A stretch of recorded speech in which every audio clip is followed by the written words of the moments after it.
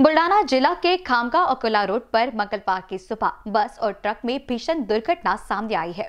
अकोला से खामगा आ रही ST bus को ट्रक ने जोरदार टक्कर मारी। इसमें बस आगे से चकनाचूर हो गई। इस बस में 50 से 60 यात्री थे। इनमें से 26 यात्री जख्मी हो गए हैं।